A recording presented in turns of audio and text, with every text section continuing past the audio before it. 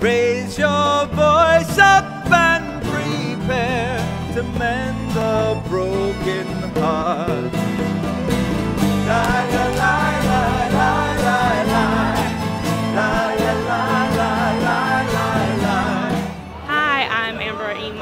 I'm here at the opening night for Soul Doctor on Broadway, and I'm here with TheaterMania.com.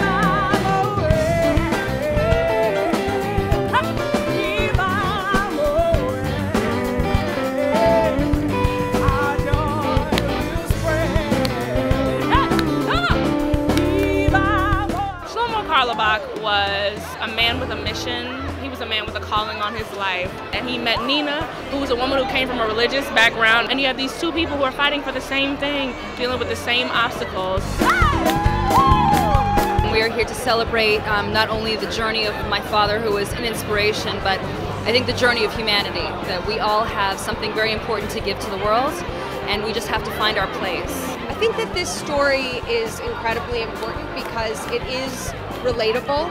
We really do cover uh, a lot of issues like religion and and love and and what those things are. And uh, I just think it's very spiritually and emotionally healing for people. The story that we're telling is, is one a lot of, of love and acceptance, uh, which has a Jewish base, but it's very universal in its theme. It, it basically says that whoever you are, you are special, and whether that be you know special between you and God or you and everybody else, that you have some, have worth, and that you are someone that is uh, worth something.